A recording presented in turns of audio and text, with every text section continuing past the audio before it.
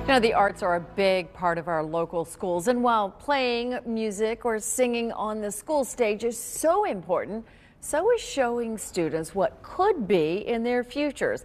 That's why a trip this summer for the Ragsdale High School Chorus is a great example of what's right with our schools.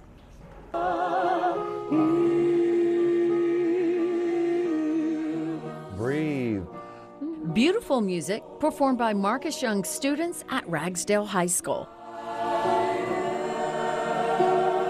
But this isn't just any music. The students are practicing to perform it in one of the most prestigious concert venues in the nation, Carnegie Hall in New York. It is very huge. I've been very excited about it. A little stressed too, can't lie about that, trying to get everything together.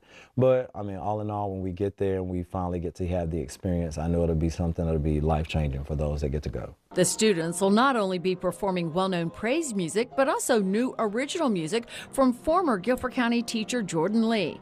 The now conductor and composer invited Mr. Young's chorus to participate after hearing them sing. Stop. Uh-huh. Uh-huh.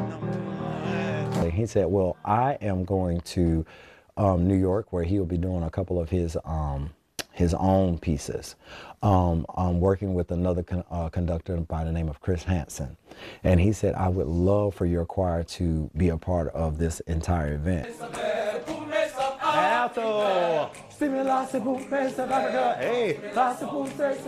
We're the only school that'll be like school. There'll be uh, some other people from different places, but we're the only school. Young knows how important this experience is for his students.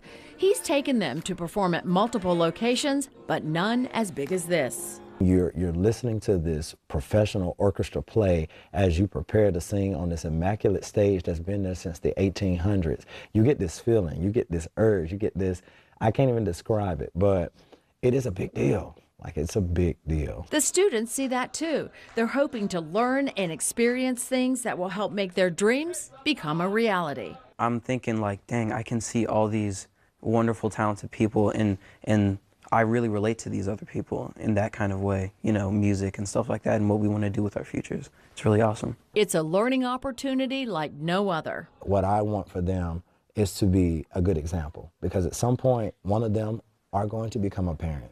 Some of them are going to be a leader. Some of them are going to be a manager.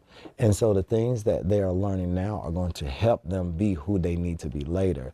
So if you're not really paying attention to who you're becoming and you're just kind of following anything, later on, it's going to come and bite you. Um, so I'm hoping, so that's why I say I'm okay with them. I give them grace because they got to make mistakes, but they're at that age now where like adulthood is right there. Like it's right there.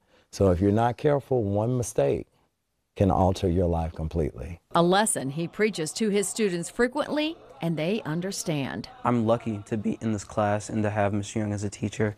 You know, he's given me a lot of opportunities and it's really, it's amazing.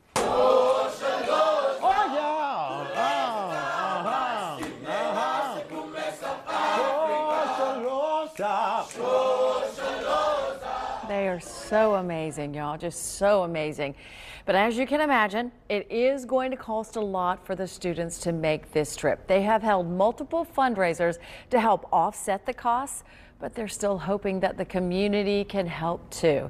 If you would like to make a donation, you can do so by sending a check to Ragsdale High School, 1000 Lucy Ragsdale Drive, Jamestown, 27282. On the memo line, make sure you note that it is for the chorus.